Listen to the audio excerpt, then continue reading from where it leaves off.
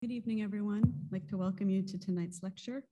Um, before I get started, I just I have a few uh, statements to read. And um, so the first, uh, want to have a Lenape land acknowledgement. Tonight we gather in Lenapehoking, the unceded ancestral homeland of the Lenape peoples. I ask you to join me in acknowledging the Lenape community, their traditional territory, elders, ancestors, and future generations, and in acknowledging as a school that Columbia, like New York City and the United States as a nation, was founded upon the exclusions and erasures of many indigenous peoples. GSAPP is committed to addressing the deep history of erasure of indigenous knowledge in the professions of the built environment generally, and in the Western tradition of architectural education specifically. With this, GSAPP commits to confronting these institutional legacies as agents of colonialism and to honoring Indigenous knowledge in its curricula. Thank you. Um, so tonight, it's a great pleasure uh, for me to make the introduction and be the responder uh, to Wonne Ickx of Productora, who is here tonight as the Kenneth Frampton Endowed Lecture. Uh, the Kenneth Frampton Endowed Lecture was inaugurated 11 years ago in recognition of his 80th birthday with initial leadership from Steven Holl, now more than a decade later, where Professor Emeritus of Architecture Kenneth Frampton celebrates his 91st birthday in a few weeks on November 20th. The lecture has previously been given by architects such as Grafton Architects, Angelo Bucci, Eduardo Souto de Moura, Bijoy Jain, Lakatana Vassal, um, Kan Ju, Yu, and Marina Tabassum, and Tatiana Bilbao. So we are pleased to welcome Wonne Ickx to this illustrious list of great architects, and we thank and appreciate all the donors who have made this series possible. Uh, tonight, Wonne Ickx will give the talk. Um, is a celebrated architect, uh, well regarded amongst his generation, and um, his background includes studying civil engineering and architecture at the University of Ghent in Belgium and the ETSAM in Madrid, Spain. He, sorry, he continued his studies with a master's degree in urban studies from the Center of Metropolitan Studies, CEMET, at the University of Guadalajara in Mexico. In 2006, he founded Productora in Mexico City together with Abel Perles, Carlos Bedoya, and Victor Jaime. Productora has received many awards for their work, including the Mies Crown Hall's America's Prize for Emerging Architects and the Oscar Niemeyer Prize for Latin American Architecture. His office has also um, participated in more than, it seems, uh, 15 international biennials, um, as well as um, being part of uh, numerous exhibitions uh, and lectures. Um, among the many uh, publications from the office, the first monograph by Arquine in 2010 and also with the prestigious Chichi monograph in 2014. Uh, they recently finished Being the Mountain, a book on the relation between modern architecture and topography with ACTAR and IIT. Uh, Ickx has taught architecture and urbanism at several universities in Mexico, as well as Harvard GSD, IIT, UCLA, Rice, and Princeton. He is founding director of Liga Space for Architecture, an independent platform that since 2011 stimulates an in, in, interchange of ideas and investigation on contemporary Latin American architecture in Mexico City. He has been part of Arquine's editorial board since 2010, is an AIA International Associate, and serves on the board of directors at the Architecture League of New York. Wonne is also a professor this semester uh, at GSAPP. And with that, I'd like to welcome you to the podium.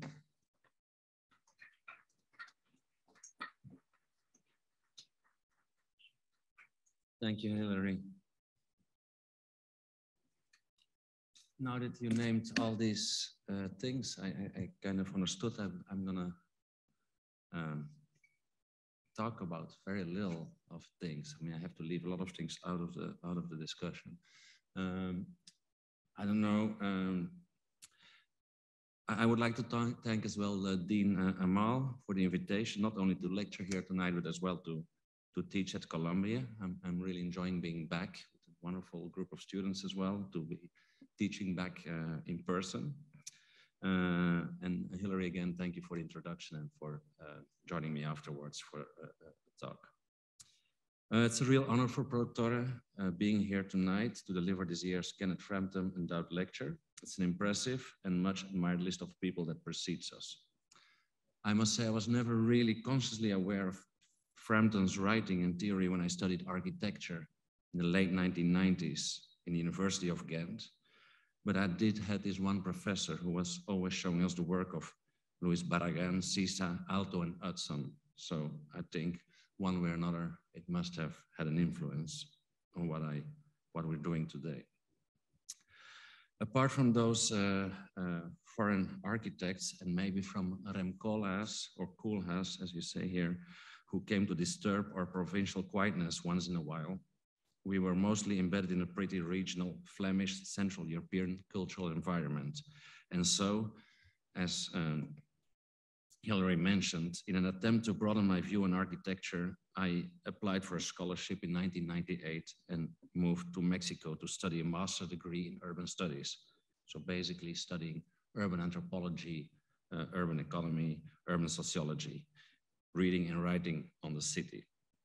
So eliminating a few uh, forts and backs. Uh, yes, you can put my partners on there, that's fine. Uh, eliminating a few forts and backs between Europe and the Americas, uh, it is then that I met uh, my three partners. Two are Mexican, one is Argentinian, and about 15 years ago, we founded our office, uh, Productora. And since then, we've been working and making architecture together. And so I will give this lecture not only uh, on behalf of myself, but on behalf of the four of us. Uh, as the build project really takes up a central place in our, in our practice, I prefer to immediately jump in and to start talking about uh, projects. I'll talk about, uh, about nine different projects uh, um, in the lecture. And so I will have to be relatively brief and I will only talk about specific fragments and bits and pieces of these projects, while of course allowing, uh, leaving out the full, the full complexity. The first project uh, I would like to talk about is the Cultural Center in Teopanzolco. Um, it's a, a, a, cultural space in Cuernavaca, a competition we won together with Isaac Broid in, 19, in 2014. Uh, basically, basically we were asked to build a 2,000 uh, 1,000 seat auditorium uh, in front of an archaeological site with a 14th century pre-Hispanic pyramid. And actually this was our site. There was already an existing steel structure where they would host events and they wanted to redo this uh, and convert this into a, a new state-of-the-art um, auditorium or like a sort of theater space. Um, so if you look at the at the, the existing pyramid, it's actually a really interesting structure. It's actually one of the few uh, structures with a sort of a twin staircase. Uh, and if you look at what happens on the inside, uh, you see that it's basically built in, in a sort of a layer. Time over time, different layers are added in every new uh, moment uh, uh, of, of, of, of cultural celebration. They would add a new layer on top of that same pyramid. we find it really interesting to think architecture both, both physically and metaphorically as a, as a sort of continuum that builds on a previous architecture. And this idea of historic continuity is something that will come back once in a while in the, in the lecture. So for this project, we used a very similar strategy. We basically used the foundations of this existing um, auditorium, of the existing steel structure, and we kind of prolongated it, creating this this triangle that just nearly fits onto our building site. We, we knew that we really wanted to use the existing foundations uh, because if we managed to win this competition, and so if we would have the chance to build our first larger public building, we didn't want to lose that opportunity uh, discovering some uh, uh archaeological uh, leftovers while excavating, because that would mean that we would have to close the building site at least for, for several years.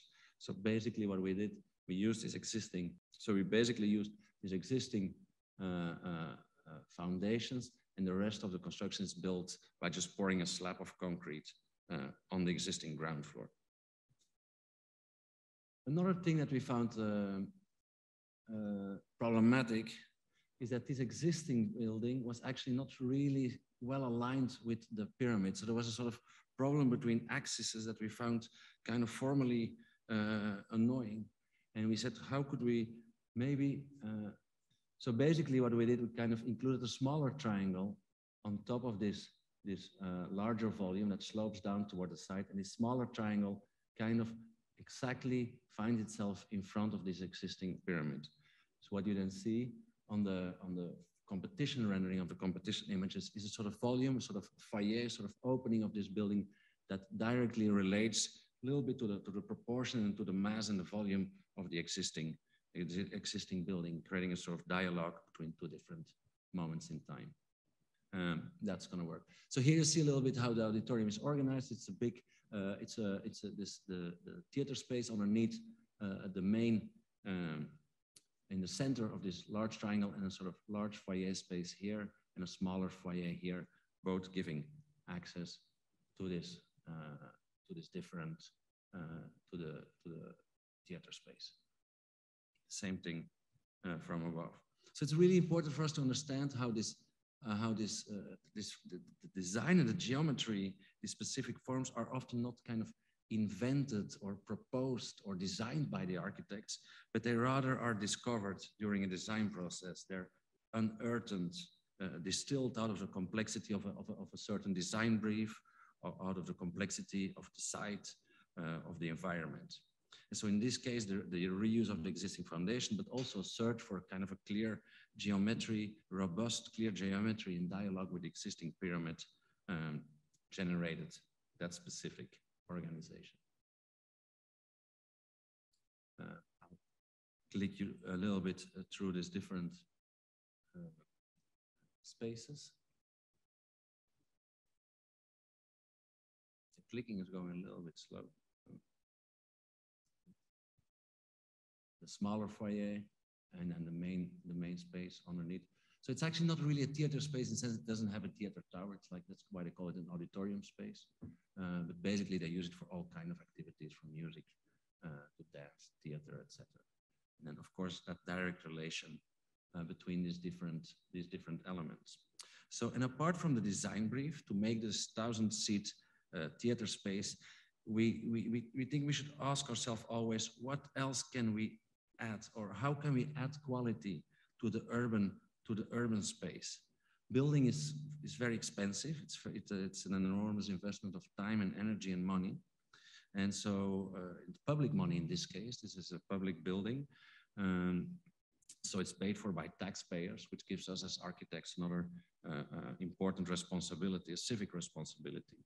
So the final question would then be like, how can we make um, this space, this area of the city better now that the building is there? And what is different between the building today than, than before? And um, better not just in the sense for the users for the building, but for the city in general. And I think this is a very, very high and very difficult ambition. And often architecture has very little um, agency over the surrounding over or little ability to influence beyond these lot lines. But I think it's still I think it's still an ambition that we should always try to, to keep on the forefront of our thinking. Um, the second project uh, that I would like to show is, uh, uh, is actually the story of our office space. Uh, we we, uh, used to have an office space in this beautiful mid-century office building by uh, Agustín Hernández and Juan Sordo Madaleno. And after the 2017 earthquake on the 19, September 19, um, we, although the building was later declared stable and safe and sound, we got so scared about the way things moved and the way our office was that we decided to, to, to move to a, to a different space. And every time an earthquake happened in Mexico City, there's a whole movement uh, of people that changing uh, people that want to live in lower lower floors or other people that finally have the opportunity to, to get a place in, in a building that is declared structurally sound, um, but that is then um, available at lower rates. You know, so it's, every after every earthquake, there's a whole move of people. And so in this case, it was not only us, but also several friends that were looking for new office spaces. And we had a good friend who owned an old textile factory in, in the center of the city. And he always wanted to do something with that space, wanted to turn it into sort of creative office spaces, creative production spaces, but never found the right moment to start this project. And at that moment, uh, uh, this, this friend, Alberto Kritzler, said, okay, let's do this. Let's, let's start working on this project. So we immediately moved in. Uh, in, in It's a little bit of a mess, as you could see, but we immediately moved in uh, with our office. Uh, uh, using one of these bays to, to kind of uh, accommodate our, our, our, people and our models, model workshop. And um, like the previous project, it also really tells a sort of tells a story about about uh, time and temporality. We started then thinking together with owner how we could continue working on this project and, and kind of understand what could happen with this central patio and how that could become sort of a key organizer of the space. And um, it's a narrative about time, not only because it, it is, of course, adaptive for reuse, so you put different uh, architecture of different moments of time together, but also because it was and it still is a fantastic opportunity to, to design uh, on the go, to be able to mold and shape the space slowly, to add more and more people and different uh, uh partners in this project uh, over time step by step, understanding simultaneously the, the, the opportunities uh, this building offers. So slowly, while inhabiting, rebuilding this building. And it's very important to understand that projects like that um, are only possible in when financial gains or like the fast return on investment is not at the center of the equation. Um, is actually our actual office space. When a project is not steered by what Raul Merodra called the impatient cap capitalism, Alberto Kritzler, the owner of this building, who guides this project, understood that to create something valuable one way or another, um, um, you have to uh, to make something that's meaningful meaningful over time. Time it also requires to invest in in interpersonal relationship, to adjust it over time, to expect maybe slower returns and to build this space in the city as a, as a social, social cultural project.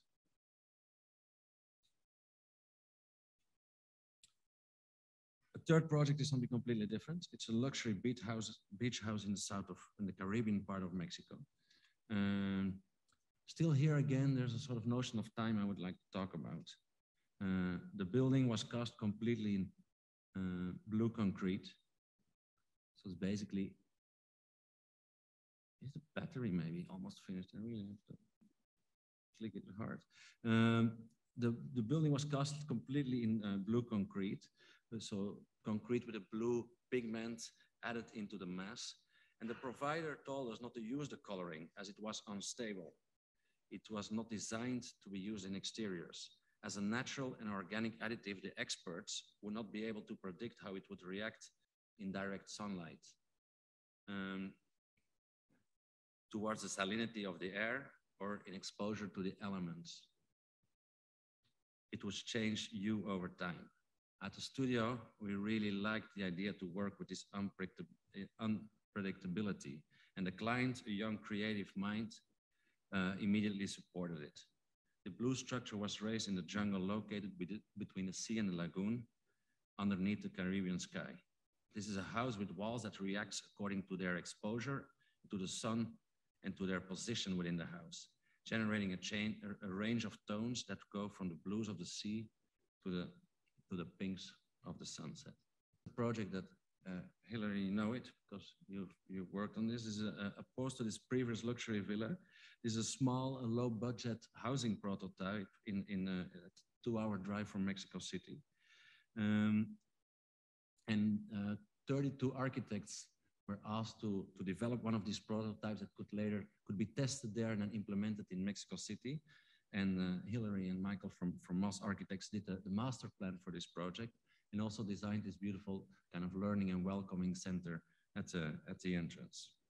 Now the proposal that we, that, uh, that we made uh, adheres uh, strictly to the financial constraints. So it's really uh, a sort of very basic uh, elementary architecture that out of base, 3.2 meter wide base, very simple rooms, and a sort of central vaulted space that would uh, avoid any need for circulation or central halls. Sort of flexible space in the middle that would create connections between the different between the different rooms. A space also with a higher ceiling height, uh, a space with more generosity, and a sort of uh, uh, yeah, generous outdoor living space. And this this space that can be later enclosed or used in, in a variety of different ways, giving the whole, uh, the same house a sort of flexibility according to the use. Here you can see the interiors are very basic, like very simple uh, uh, bearing brick wall system, um, uh, relatively minimal uh, uh, sizes. But then this expansion in this central central space. Actually, the central space is the only space that is plastered all over because we really wanted to give that central space kind of the quality of an indoor room. Uh, so that it has plaster and paint on, on all sides, creating that central space as a sort of uh, outdoor interior. And then we imagined that these places, these different prototypes could be placed next to each other in forming a sort of urban row, row houses, creating a sort of rhythm of these special elements uh, within uh, the fabric of the city. Another project is also low-cost housing, affordable housing uh, in Denver, Colorado. Um, and in this project, um, we were asked to think together with uh, uh, Continuum developers and uh, local architect Joe Doling, who was, who, was, a design builder, the, the, contractor as well on the project. Uh, and it really searches for different ways of how to densify the suburbs. There's a lot of cities in the United States that understand that there's a, a necessity to densify the suburbs that are close to the city center. Uh, and actually, many of these uh, things happening already. Here you can see, for example, how several units live on our same roof in this building.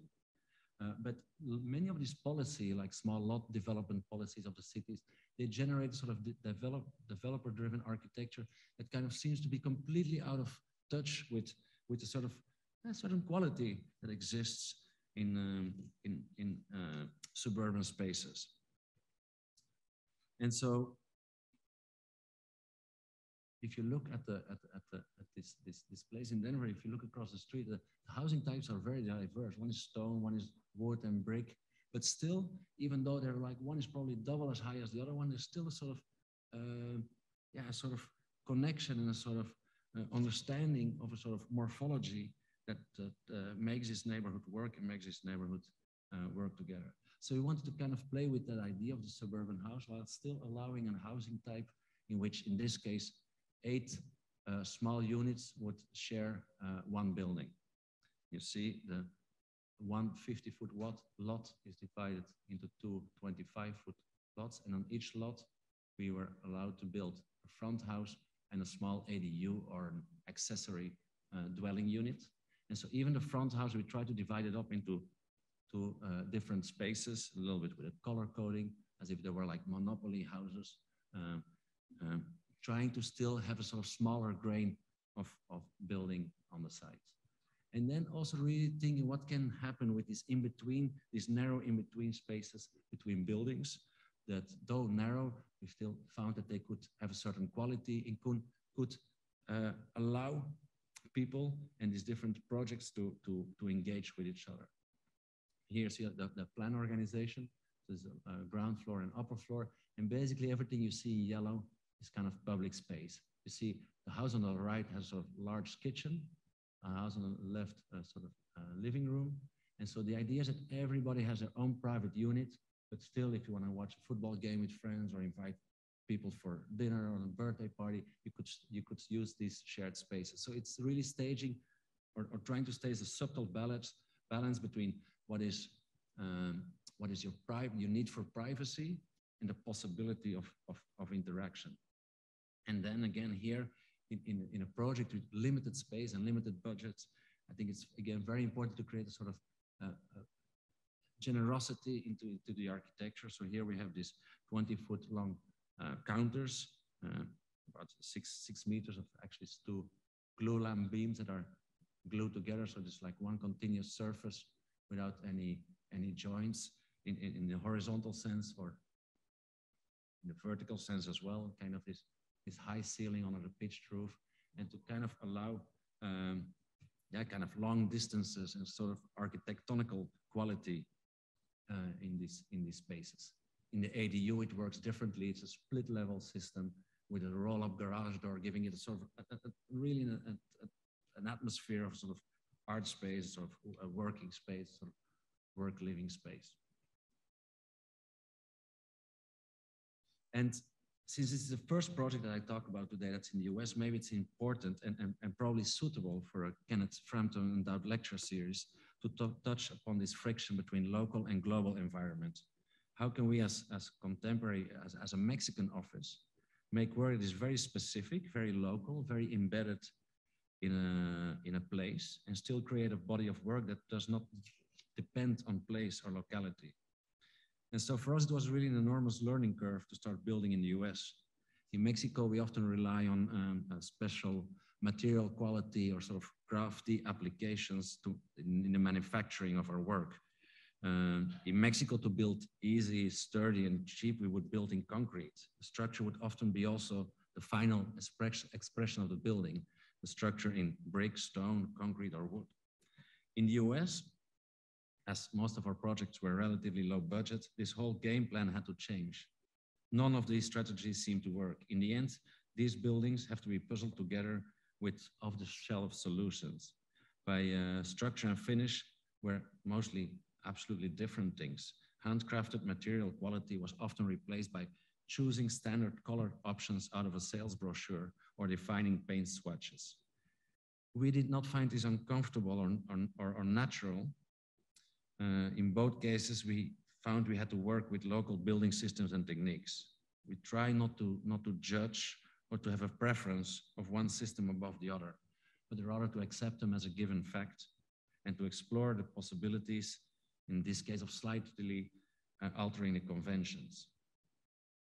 In this case, or in this image, you see also the, the, the nondescript location of this building is important what interests me in this project is, is how architecture can respond towards such a generic suburban environment, to accept it without being ir ironical about it, but rather still understanding and enhancing a certain quality it offers.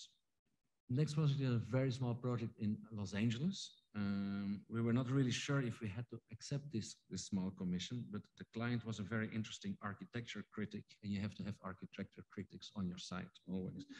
Uh, and he, he moved from being the LA Times architecture writer to a new job at the City Hall. He became the inaugural LA Chief Design Officer. So what happened at a certain moment was that all the books he had in his office at the newspaper, he had to bring it home and one way or another, he had to organize this in a new space uh, at home, a space that could also serve as a small guest pavilion. So he said, how can we make a bookshelf and how can a bookshelf be architecture? And how, how could this uh, how could this this work? Now it, of course the blue is very blue but in the end uh, it, it's filled with books. And it is this blue perimeter this kind of horizon we drew in that pitched roof space that kind of defines and organizes all the different elements the desk the relation to the outdoors the relation to the bathroom etc uh, here see again uh, the desk. Everything is integrated in that very uh, basic that basic uh, gesture that kind of makes from a nondescript space kind of tries to define a clear a, a clear uh, element. And then the contrast between this blue orthogonally organized interior of this space and a sort of pill-shaped bathroom all wrapped in a sort of uh, in, a, in, a, very simple uh, white tile creating then sort of relationship through this continuous clerestory glass frame between the two spaces, sort of thin line of glass that protects the books from the humidity uh, of the bathroom. Now, when working on projects like that, uh, one always wonders, is there enough design? Did we do enough efforts to make it something special? So it's not just a building, but it's really architecture, or that it's not just a bookshelf, but it becomes really a project. I think we always struggle with that. Or, or maybe on the on the other hand as well. Did we too much? Did we do too much so it doesn't sit comfortable in the site anymore? Maybe it's too pretentious. It talks an unsolicited language. I think this question of uh, is always a subtle balance we try to strike in every project. It's not about uh, less is more or less is a bore or more is more. I don't know what all variants people have been making on them lately, but it's about what is enough, how much, what is the right amount of ambition, of intentions I can project into, into a project. I think that's, that's it's, it's a very interesting thing that we always discuss in the project, uh, in the office, you know, like, did we do enough? Is it enough? This house, another house in LA, our first project we, we did in LA was um, uh, a house for a client. She, she owned a very beautiful little bungalow from the 1920s. She wanted to really re, redo it and revamp it and make something more uh, out of it. But we were immediately interested in that building. Uh, like I said before, like not to judge it or not discuss if this is now valuable or not, but to say, okay, let's say this is a given fact that talks a little bit about a moment of urbanization of the LA hills and to see what we could do with it. Now, these bungalows are very nice because they're cozy and don't have too big windows, so there's not too much sun coming in. But on the other hand, they don't offer like what, for example, the Case Study houses offer, no? this, this mid-century modernism where you have great relation between inside and outside, uh, between the gardens. So we said maybe we could kind of invent sort of device we could add towards the, the, the bungalow and then that device could mediate between the inside and the outside, between the, the, the, the, the, the protected space inside and the garden and the landscape and the view. So that's basically what we did. We add this, this basically sort of grid structure, sort of Sol LeWitt-like uh, grid structure in the back of the house, uh, creating then this space that really, really talks to the landscape or, or to the horizon or to the garden and really allows this space to be, to be more open.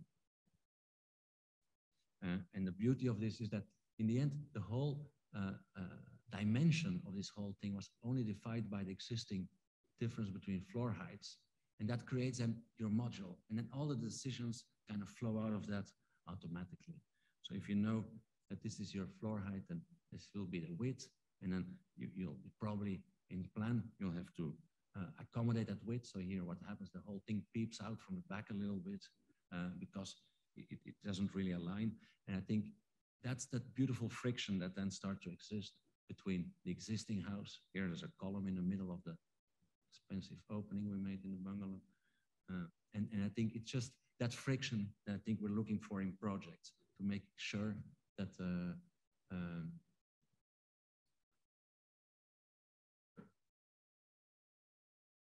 that both elements can kind of coexist uh, and still create not an A plus B, but still create something new uh, together. Um, we often actually worked in our office with kind of, uh, I, I, show actually relatively little projects today, but with kind of grid structure because we think it's, it's, it's a really interesting system to work. And I just saw this uh, um, work by Luis Camnitzer uh, a few weeks ago. It's actually on show now at the uh, America Society. Uh, and I find it a very interesting art piece because basically every aluminium plate is the same plate and it has the same type of engraving, but the only thing that really is mentioned is the position of that plate. And I think when working with grid structures in, in, in, in, in architecture, um, it becomes really interesting to see that, that grid structures are really about the position of spaces within that, in that larger thing.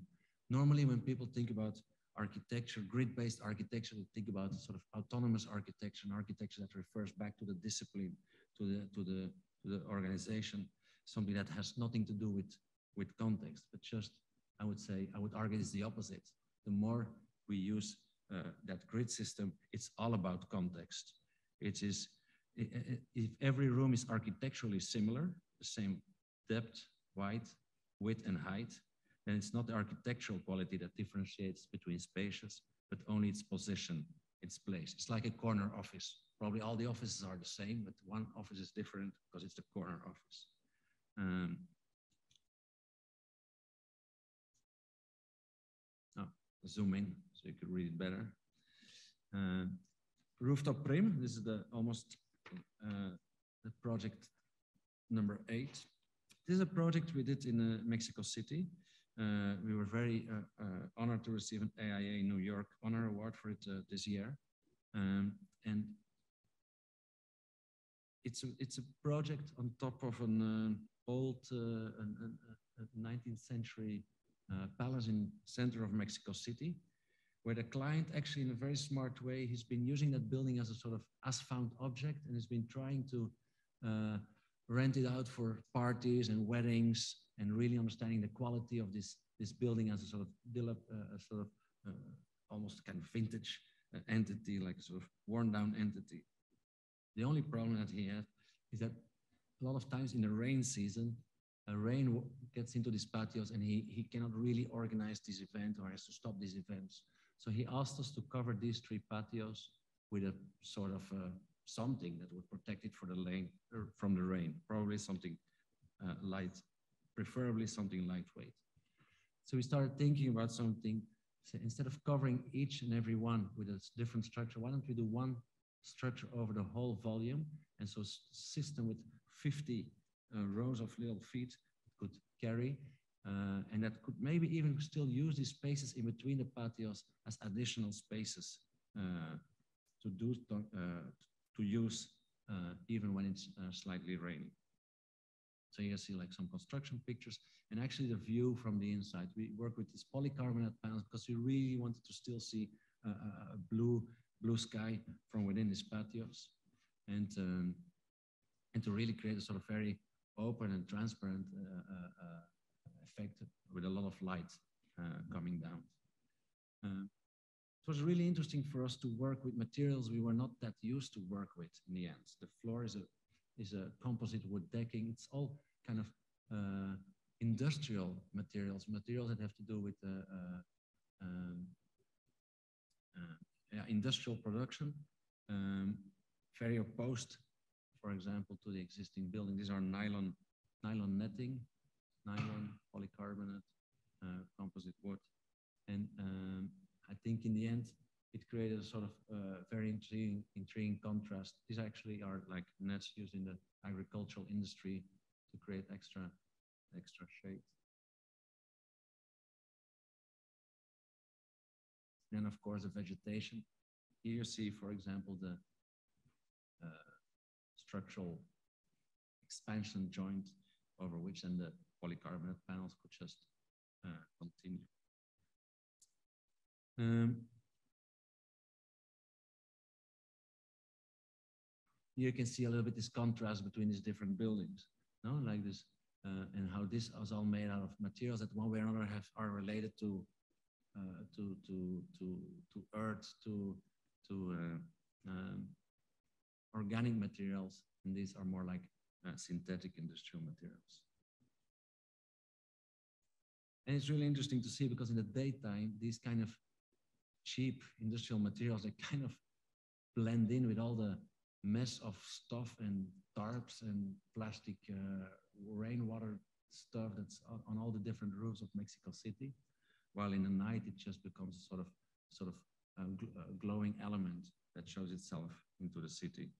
And I think what, what's interesting a lot of times when you work in these historical buildings, that you that you do not discuss too much like is this a good building or is this a bad building is it historic or is it valuable or not but the success of many of these projects is to just accept the building as a given and trust that you will be able to, to, to deal with it one way or another the last project is a, a project uh, the houston endowment a, a small uh, uh, like medium-sized office building in texas competition we won in 2019 together with kevin daly and, and tls the landscape designer and um, which is under construction now. So it's going to be our first like larger uh, uh, building in the US. It's also semi-public building. Um, so we're very excited about this. This is this is the site. Spotts Park is this this uh, part of the site. It's it's part of the Buffalo Bayou, the green belt that goes straight into the, the downtown uh, of Houston. And this park, one of the important moments in, during the competition design is what the landscape architects they discovered that it was not always such a bare site. It was actually very, there was a lot of, it was very forested and it was really part of that, that, that kind of long, long extension of woods uh, along the Buffalo Bayou. So we really wanted to make sure that uh, when working on this project, we could kind of at least uh, uh redensify the perimeter of this, of this project, uh, allowing some internal meadow still to exist, but really to make sure that, that uh, we could densify again this, this, this outer rim of the, of the park. And that meant that the building, which was actually had to be placed here, that that would actually become part of a wood, of a forest. It had to be one way or another sort of canopy. And so basically, this had to be our building, something that would give continuity to that uh, circular uh, protection from this inner meadow. And this is some of the uh, models we made for the competition. So it becomes sort of very open scaffolded structure, structure of, of columns and open spaces, a sort of large canopy that is carried, um, carried by these very long and slender columns, allowing both the visitors the, of the park and the people of the Houston Endowment to basically share the same shade, the same roof structure, the same color. Same here, the same image a little bit from, from further away, in creating this different filigrees and different lines to protect the inside uh, from the sun and allowing different views towards the park. So this is a, a working process. Construction started a few months ago. Uh, and, and, so now we're in this exciting moment where we can start uh, looking at uh, a lot of the, the facade, mark, facade mock-ups and, and, and, the, and, the louvers. They're actually produced in Mexico by uh, Kinetica, a really interesting firm. And um, I want to show you quickly as well the mock-ups for the signage made by MG & Co. by Noemi and Reto, which is really beautiful. It kind of, as the building, it becomes again a sort of open structure. It kind of allows the sun to play with it. And uh, I mean, no credit for me here. This is all work by MG & Co. But uh, I thought it would, would be a good way to, to end the lecture because they made end as well. So uh, thank you so much for uh, your attention and uh, let's sit down. Thank you.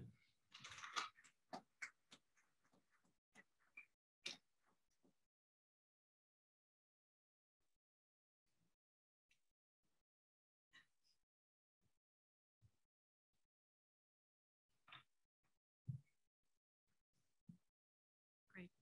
Thank you, Wonne, for the talk. Work. Okay, I guess I, I wanted to start a little bit with you. You know, you presented nine projects in the first image, nine squares, grid, mm-hmm. even. You know, so mm-hmm. that already I think gives um, a little bit of a hint and and more than a hint to what you're uh, working on and thinking about in the work, right? So there's um, a range of projects, different scales, different types. And I, I wanted to start a little bit there. And could you maybe elaborate a little bit more on what it means to you and your office in working on and working across scales? Mm-hmm. It's funny you say the nine, the nine uh, grid square grid because actually I was brought up in Ghent. I mean, our, the, the pedagogy of the school where I uh, studied architecture was based on the American model of the nine square grid. So we were ba ba basically building nine square grids for the first years. Uh, but scale, uh, I think it's, uh, I think it's, it's in, well, it's important and not important in the sense that, uh, as you see, I, have showed like projects from different different ranges, going from like larger buildings to, to smaller ones. And I think in the end, um, they kind of, uh, well, I think they kind of have the same uh, um, drive behind them in, in, one way or another. I know that there's a sort of uh, interest in a certain legibility and, and clarity. And uh, I, I, think especially with uh, larger scale project, now that we're working on a larger scale, this question that came up, like, did we do enough? Did we do too much? Did we do too little? It becomes very complex, I think, because at a certain moment when uh, um, when when your buildings grow, like it kind of allows for more experiences and more uh, and then all of a sudden this idea that we always worked with of this this clarity and this single gesture and this one movement and this one single element that defines a project. I think now this is the moment in our, in our office where we're starting sometimes to to question this. You know, like how can we how can we work with that idea in in, uh, in different projects? Yeah, I think that's that's interesting, and because there's challenges because you are scaling up, and so then I think it raises other questions around things like repetition, um, how you are working with geometry, and the consequence of that ultimately in the form. Mm-hmm. Um, would be interesting to hear maybe a little bit more uh, about that, how you approach things like symmetry and, and kind of precision.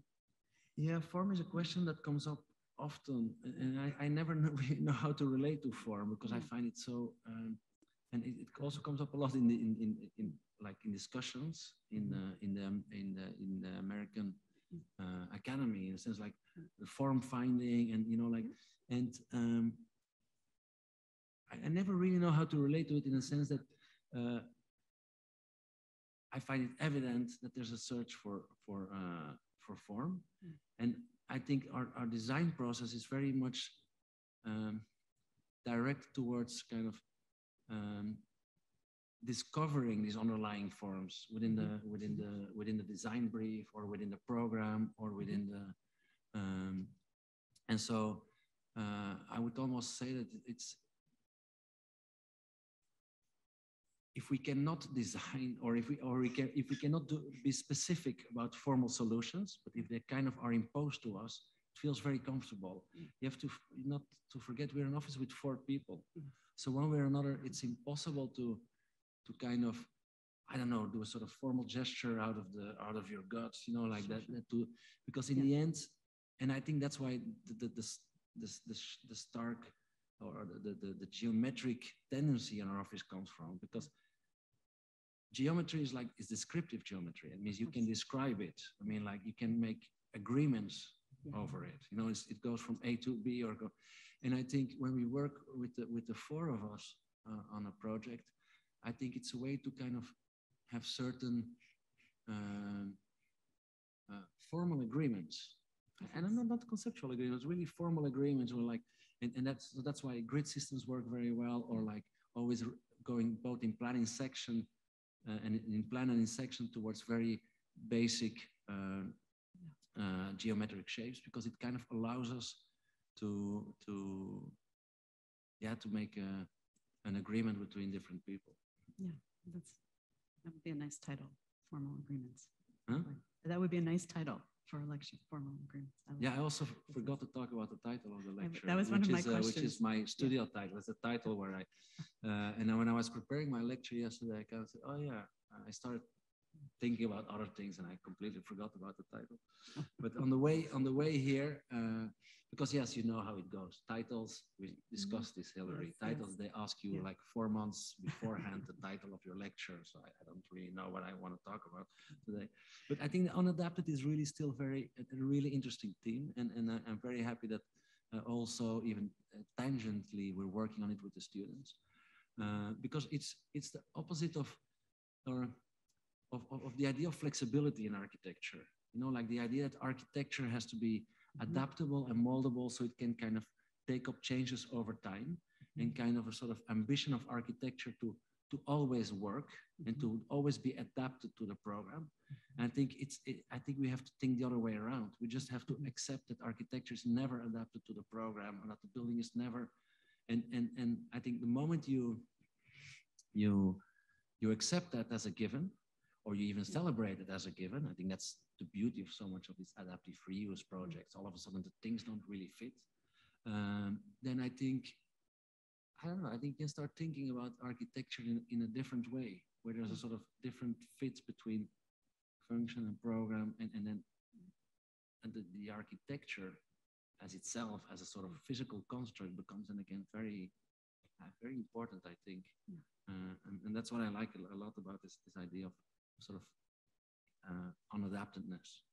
Yeah, that sounds good. I, I was also curious about maybe just could you talk a little bit about working across um, I guess I will have two questions really, and both about kind of working, I think, and the kind of method in a way of working and thinking through your projects because they're in in all cases you're working on different climates.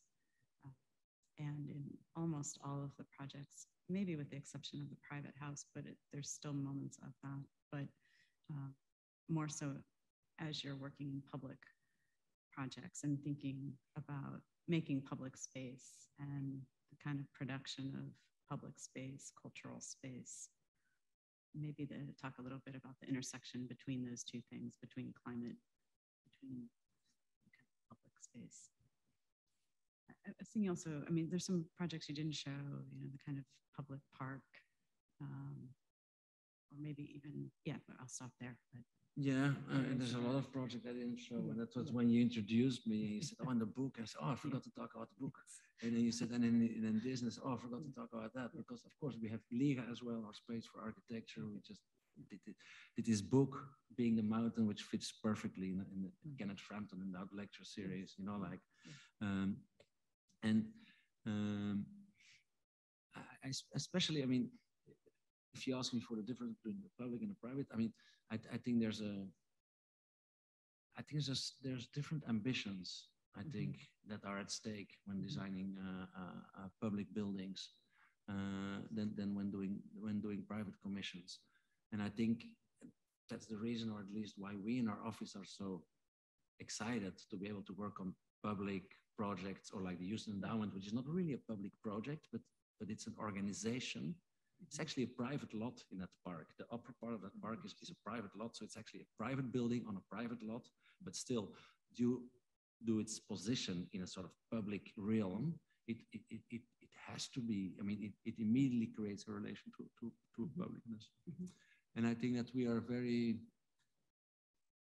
the stakes are like slightly higher or something the moment you work on a public building. And I think that that, that makes it, uh, I think that makes it uh, very exciting because it can have a sort of a life that is completely uh, yes completely uh, it's even less predictable than than doing uh, uh, private infrastructure and it's also if you don't make public infrastructure you can never bring people to your buildings mm-hmm. that's also a problem that we see you know like. It's kind of really nice to be able to to have your architecture out there i think. I mean, it seems as though also the um, you know, struck by the Denver housing um, and the ability to create such an open space at the ground floor, even though it's still contained and everyone has their own unit, but to have that inner uh, life and exchange across units and um, almost a kind of subdivision of property um, in the context of understanding the kind of historical division of lots mm-hmm. and uh, ownership and those who don't have ownership access and um, you know kind of turning the block or the sorry not the block I'm talking about that too much this semester the lot inside out um, and to reveal you know i think a little bit you maybe said somewhere along the way some kind of friction friction you were talking about friction between local and global but you know, it's quite interesting to think in that project, just a kind of friction that gets created within one lot um, and really undoing um, the way that we have thought of housing in the US, um, mm-hmm. maybe through that example.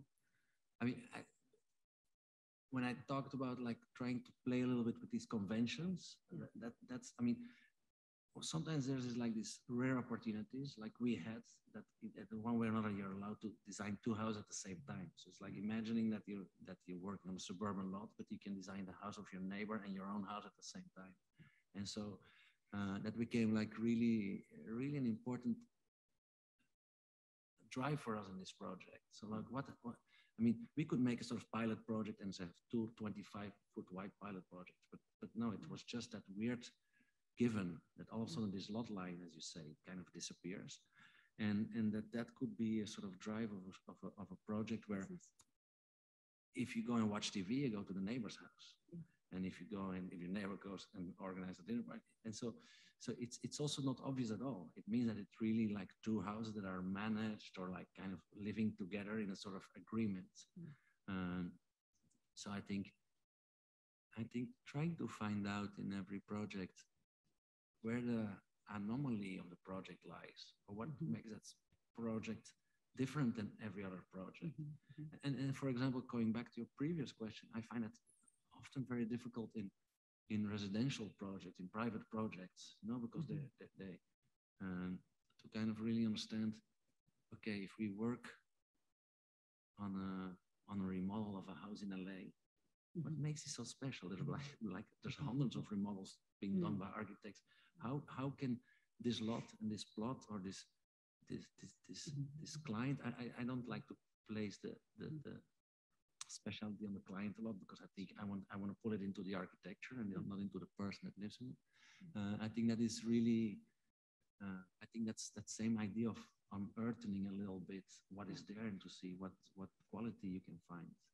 Yeah, well, Very interested in that. yeah, yeah, for sure. I mean, I think that the uh, library book, it's beautiful. And even in that, I just kept looking at the work and thinking about um, each project has this kind of set of lines, um, whether it is the kind of structural grid, uh, you know, the, the kind of wood slats. I was just thinking of looking at the work um, as drawings, which you showed very little of, Mhm. which is interesting. And we get some models at the end Mhm. um, and you know have I've been to your office in Mexico City. I don't know if you know that, but um, and you know seeing the models in the space and um, just thinking about how there is a, this um, you know kind of intense um, pursuit of it is in a way a kind of geometric representation, a kind of structural is always visible and visual, um, even you know, to the representation of the lines becoming three dimensional, almost more like a corduroy across some of Mhm. the facades, that there's depth to it. And I was thinking a little bit in the Denver project, not, not to sort of fixate on that in any way, but even when you were talking about the economy of it and um, that almost as little as possible somehow um, to what you do, you still find ways that um, the, the, the joists are exposed and we see those as lines. And it just that you, you can, there's variety and diversity in the work across the types and the scales, but I, you know, trying to find a way to maybe say something about stringing them all together, whether or not that's necessary. But there is this the kind of line that seems to emerge in the, the kind of pattern, and which is I think quite beautiful. Certain Um, material depth, you mean, or this Yeah, quality that- also- that's that's related in, Yeah. directly to the architectural drawing? Mhm, mhm. potentially, but there Mhm, is there is something, and that Mhm. becomes um, real. And so when you start to overlay those together, it's interesting to see what maybe can, you know, can kind of emerge. But that there's still so much in the built work that is separates it from the drawing, right? And Mhm. so where do we find surprise? Um, I think we've relied so much on renderings to tell us what we're going to see. And um, I think in the case that you present the work through the built work and then through some models and almost very few renderings, or if anything, think about the uh, drawing from a pan and you show us that, that repetition, but it's more in a relief. Even it's quite beautiful. It's true. I showed very little plans today, for Yeah, example, and I think it, it, you can see in, in the architecture, it's a very. Oh, we're not a drawing-based architecture. You can also, I think, uh, if you if you read through it through our architecture, you could even see that we draw into the AutoCAD and not in Rhino, for example. You know, like I think that are things that that is part of a sort of uh, way of our making architecture that uh, I, I'm absolutely convinced that that generates a type of architecture. Mm. Uh-huh. Yeah. And uh, I, I never thought about it in that way, but it's it, it's it's really it, it's really true.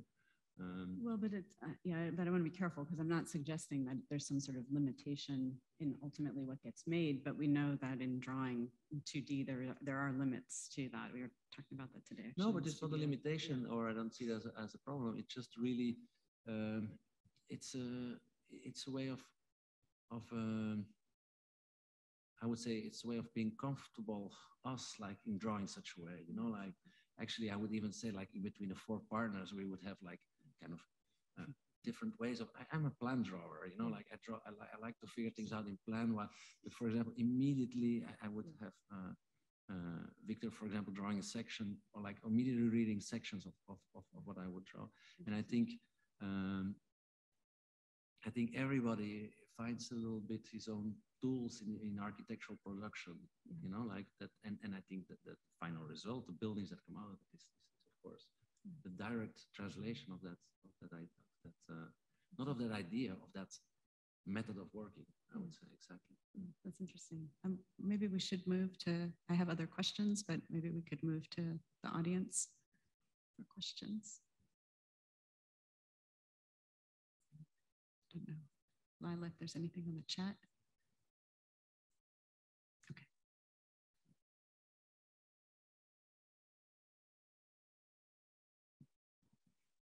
Hi, thank you. It was a really great lecture.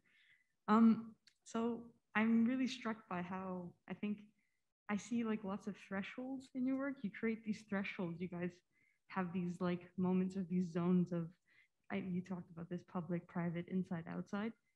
And I'm, it's like they, that you, you sort of defined the, the zones so well that the thresholds themselves become this negotiation for strangers, really. Like you sort of trust the people who are inhabiting these spaces to make the decisions.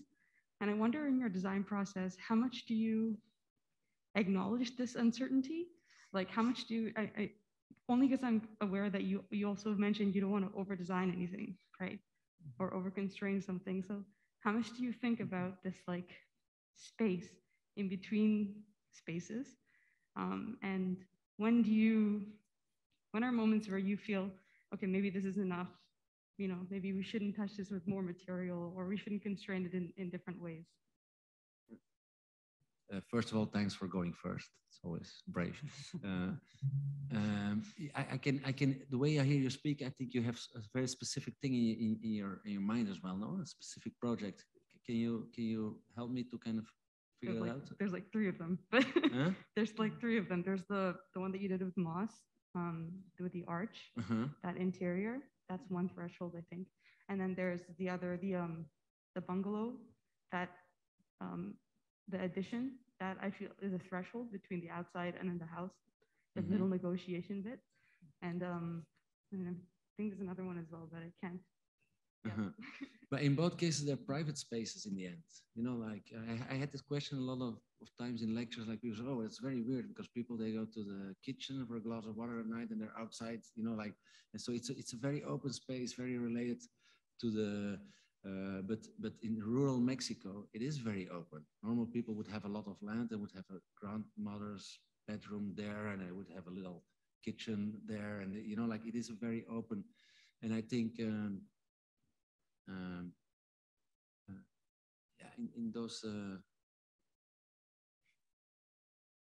I'm, I'm not uh, uh, worried or anything about uh, the, or I, I don't really understand exactly the, where, where the question goes to. Um, but but I, I do think they're very specific spaces. And a lot of times when people talk about that openness between inside and outside, uh, people talk, yeah, we, we blur the boundaries. That's the word always. We blur the boundaries. And I said, yeah, but apart from blurring the boundaries, maybe I don't think I'm, for example, in both the cases you mentioned, I think you said it well, you can dis- clearly define these spaces. No, it's not blurring the boundaries. It's really, uh, although, although it might have the same effect one way or another, it's really like creating a sort of new space that is nor inside nor outside. And to also architectonically define that space and to see what we can do with that space. I think that's what we're really, really interested in uh, because um, I, I, think that's a little bit in our way of working, at least the, the, the challenge to be able to draw hard lines on paper. Mm-hmm. And so we, we, we will never, we will, so, so and, and it makes architecture very difficult. Because not yeah it's a little bit of this and a little bit of that. No no every time you have to think okay where is it? Where does it stop and where does it end? Because we draw in such a um, uh, I don't know our way of working is just that, that things are aligned and things are, are defined as a space. So it becomes always a, a very difficult task. And I think that's that, that's that's interesting that question other questions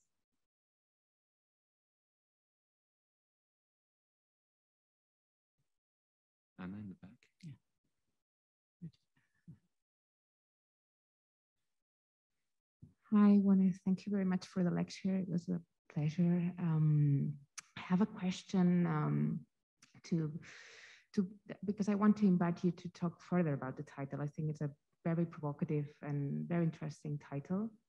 And uh, you gave an answer in relation with, uh, probably it was an answer relate, in relation to an academic uh, disciplinary conversation. And I'm saying this because not to be adapted, not to conform, um, is to be against something. And uh, in most cases is to raise a political voice against something, right? It's uh, an action that allows us to understand mm, social neglection, for instance, and many other uh, attitudes, uh, basically not to conform. Um, and I'm saying this because you have uh, given an, um, an argument that clearly um, was responding to a disciplinary uh, discourse, to an academic disciplinary discourse. But as you were mentioning, architectural is contextual, right? So I understand that response here at GSAPP, but how would you respond in relation, for instance, to the US context or to the Mexico context? So what, what do you don't want to be adapted to in the US and one you don't want to be adapted to in Mexico? And with that, which is your critical position in both territories? Yeah, I, I, th I, think it's very funny, Anna, because I think it's an excellent question. And I actually, I was already thinking a little bit about it, and I was thinking about in relation to your lecture from a week or two ago, because there is a very different um, there's a very different uh, attitude, I think, uh, in in um, in the way we would uh, both react to certain given uh, situations. And when I was uh, when I was at, at, your lecture a week or two ago, I was really almost jealous or like kind of excited by the way that you always were like not accepting the condition, and there was always a way to go against it and to kind of subverted things in a, in a, in a, in a different way. And I think, uh, and I hope I understand the question well, I think uh, one way or another, I think we, we, we kind of do the opposite. We say, okay, this is, okay, this is, this is how things are. Let's just accept them the way you are, the way they are. And let's give that as a starting point to kind of see where can we twist things? Where can we, um, um, how can we find uh, uh, new solutions or possibilities that create a certain friction that uh, uh, but but within the framework of, of accepting it and i think uh, that question that you asked me keeps me very restless sometimes you know like till where do we have to kind of accept that uh, uh, uh, yeah that that that that given context and not and not first try to go against certain things we don't agree with before before really trying to play with it. You know, like, and um, um, I was also thinking, you know, like, I mean, if there's if there, if there's one thing super important uh, about, of course, I've been thinking about Frampton in preparation of this lecture. But there's something very important about Frampton's work, you know, like for the last, uh, let's say, 40 40 years.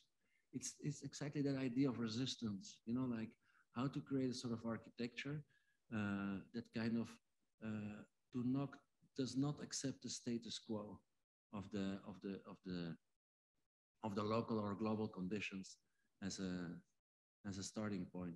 And I think um, yeah, I think it's a it's a it's a yeah sort of fine line we're always we always try to uh, to play with, always to subvert things in a sort of uh, um, I would say in an intelligent way, in a sort of provocative way, uh, in order to to kind of understand, uh, kind of show actually the conditions the way they are, like the mm-hmm. suburban mm. housing that we were talking mm. about just uh, just just now.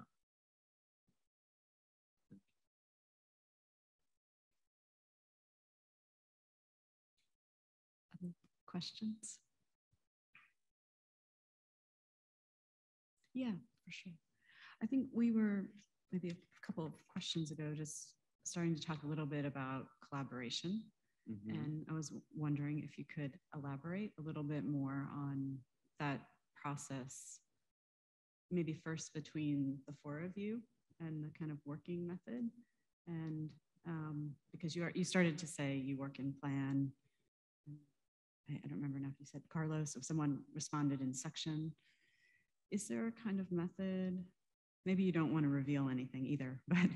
No, um, it's not that we have a magic trick that we don't want to share with nobody. But It's- it, is there, you know, how does it, do you all come together at the same time? Do you, you know, I think just it's helpful for the students to, because we do a lot of collaboration in the school, I think is, is, you know, we're teaching collaboratively in many ways as well. And so how do you begin to enter into conversation and, and particularly, I think I kind of keep returning to the scales or the, the types, but um, you know, it's it's very interesting to me to see how, particularly in housing, how you can have that work being done along other types of work in the office, um, and especially as you're showing, you know, pictures of the office, which is such an exciting space.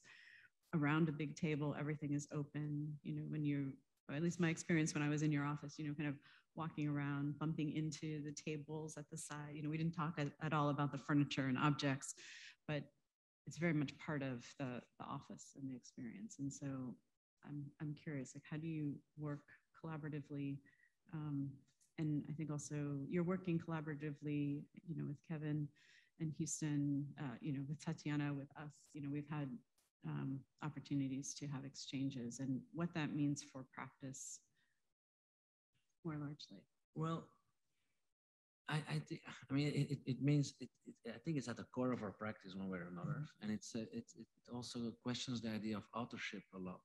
You know, like, I would say like collaborating with, with people outside of, of the office is kind of an extension of what we do inside the office in the sense that we feel very, uh, so, so it's very easy for us, you know, like if we all of a sudden uh, do a project with another architect instead of talking to three people, which would be the three people of my office, I would be talking to four people, which doesn't make a lot of difference, you know. Like so, so since uh, the design process is already a, a relatively collaborative effort, I think like bringing other people into the mixture is is uh, is very easy. I think the reason why we're comfortable uh, working together is is. Uh, and I must say now the, the office is growing now that I'm Yeah. spending a lot of time in the US as well uh, uh, teaching and working and living here with my family, uh, we have to really fight hard to kind of make sure that we still have enough moments that the four of us, or at least a critical mass of the four of us, two or three at least, are, and that we don't start like taking a project by ourselves. Because we really believe that um, that that's where the, the, power of our office lies, the, the design quality you know, like, and of course it's slow, and of course it's tedious. Anna, you know, you have also an office with several uh, collaborators, uh, but but still, I think by like having a lot of forts and back already on the design table and different points of view, uh, I think that that becomes a really uh, crucial uh, a crucial part of the of the design. Uh, and there was something else that I, that I wanted to react to, but I forgot what it was. Uh, Well, I think just how you, how you make it method and, and working and. Well, I think you that you mentioned the table. I mean, Yeah. for real, the, the design table is really important. That's one of the reasons why we, for example, we we say we don't look at rendering so much because we have to look at the screen, and you don't fit four of four people around the screen. You know, like you. So what works very well is models or drawings because you can put them on a table and we can sit around it. Uh, and and, uh, and and so, for example, I, I don't know, like the, the typical um, David Byrne play cards where you would like they would say like bass player uh, yeah, pass the guitar onto you know like like the typical architect's trick would be like turn your plan around you know look at it from another angle. And I think we, we always already have that. I think once when we're looking at a at a model on the design table in a, in a dialogue and discussion I'm already seeing a different part of the model than my partner is sitting at the other part of the table or, or, or my collaborator who's sitting there and I think um, well, I think that's really I think that's really um, uh, yeah crucial to have a design process in which like these different not only different voices and different people but also different uh, uh, simultaneous views are are uh, her presence. Any, any projects that really have brought you joy? No, not yet. Not yet? No, I'm Oh, joking. No, I You can't say uh, all, uh, something in particular. No, I, I- wonder what kind of is the most like rewarding or the most, the most, and I think uh, I, one would kind of expect like the final built product or the, uh, Mm. uh, for me, it's the opposite, you know, like when, when a building is finished, it's always, I don't know, there's always several worries and I know that some things could have gone better or this, it's, it's, it's really after a long t- time or when we finish a book, it's the same thing. I never like it when we make a book. So Mm. like a year later, I start liking it and I say, oh, it was actually a really good book. You know, like it's too fresh. Yeah. I think what I really, really enjoy is the is that moment at the design table when we're like struggling and we have three or three weeks that we don't know how to resolve the project. Mm. And then all of a sudden, there's always a moment, or sometimes not, but there's mostly always a moment when something comes up and everybody knows that it's Mm. that that's the right solution, Right. that it's gonna work Mhm. and that's that's super fulfilling and then it's just like you have to just Yeah. produce it you know like and, and i think um, i think that that moment of of kind of being lost i always tell my students that they have to allow themselves to be lost in their project Mhm. that moment of being lost and all of a sudden kind of Mhm. managing to tie the. The the the ends together again i think that's that's that's very Yeah. satisfying always That's great. Any, any other last questions? No, I have one. It seems like uh, there is a very consistent effort in building all of the projects all across scale that there you are preserving certain quality that belongs to your practice, cra- belong to your firm. What what would you in words describe that? Like how would you how do you want your firm to be perceived? to be perceived? Yeah. Um, that's a very difficult question, I think. Uh, but when we're working now for 15 years, so people have also been, uh, I don't know, telling us how they perceive us. You know, like so slowly, bit by bit, we're kind of starting to understand. Uh, um, I. Uh, I mean, I'm gonna now kind of read you the elevator pitch on the first top right part of my website. You know, like, but but I think there, there's cert, there's a there's really an interest in like making buildings that are legible, and legible I mean like under, understandable at, at at at a lot of levels. So, I think that's the beauty of a of a of a of a project, and for me a lot about about architecture that. Uh, that the project is legible when I try to it doesn't mean understandable you know like it doesn't mean like oh every layman can understand what this is mm-hmm. about but it's a it's a sort of it's a sort of a, a, a, manifestation of clear intentions and, and, and, and, and, and clear goals and i think that allows people to kind of react to the architecture in a very direct way you know to really to to enjoy it and maybe also to critique it or to kind of if you draw a hard line, people can discuss it. The line should not be more on the left or, or the right. And so it kind of allows people to engage very easily with your architecture. And I think, and I think that from, and that's also that why it's an architecture that is easy to to explain or to discuss with Mm. possible clients or with, with your partners on the design Mm. table because since since we we oblige yourself to make very precise definitions, um, it also, I think it allows discussion and it allows reaction to it. And I think, I think that that's, I think something that I, I, I'm very happy with. Thank you. It's an interesting question.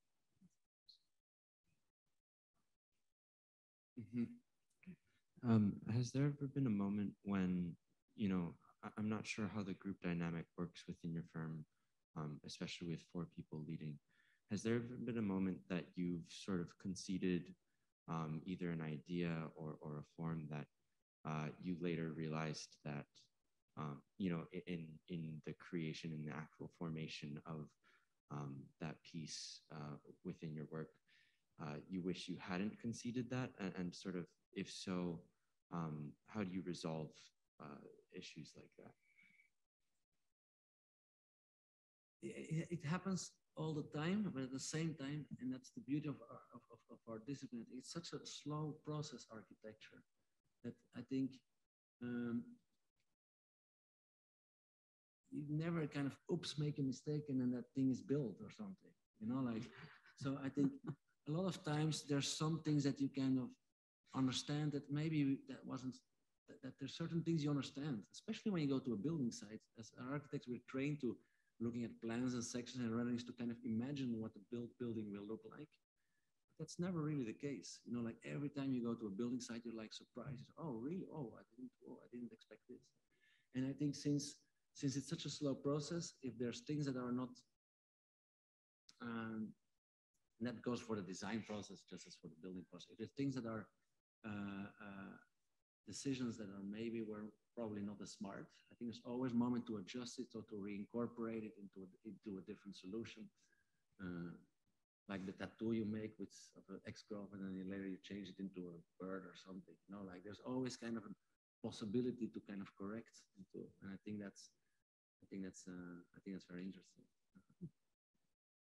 the slowness, I think I think that's something uh, that, I, that I spoke about as well. I think the moments where you are allowed to be slow, which happens less and less in a sort of hard market-driven architectural environment.